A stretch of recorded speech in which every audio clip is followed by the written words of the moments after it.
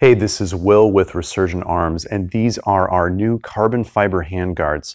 They're available for both the AR-10 and AR-15 platforms. And there's two different cuts. This here is the ultralight cut, and we've also got an M-LOK cut where each row has a row of M-LOKs.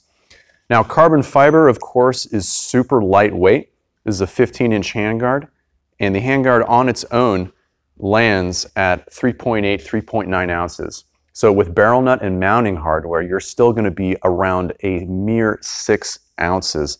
Carbon fiber as well is super strong. Our 220 pound employee stood on a set of these, and even with all that material removed, it was easily able to support his weight.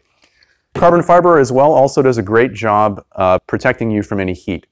Uh, we did a test, we did four magazine dumps back to back, so 120 rounds, and we were still able to touch the base of the handguards without any trouble. Now, there's a few things that I think we really bring to the table here. The first is check out the quality of those cuts. Carbon fiber is very difficult to work with, and we're pretty good at it.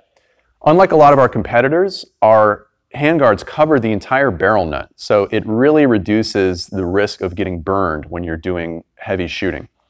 We also countersunk our screws, so you can see the screws are totally flush with the handguard surface, which looks great and feels great. And another unique feature is that our handguards in the AR-15 versions are actually compatible with Aero enhanced upper receivers. So with just a set of screws, you can slap this on an Aero M4E1 enhanced upper. Right now, November 2022, we're doing a huge sale. Frankly, our prices on these are the lowest you will ever see for carbon fiber handguards of this quality. I don't know how long we're going to keep the sale going. Probably depends on, on how many people buy into that, but uh, grab them while they're hot. Anyway, this is Will with Resurgent Arms. Um, go ahead and leave any questions down in the comments, and thanks for watching. I'll see you next time.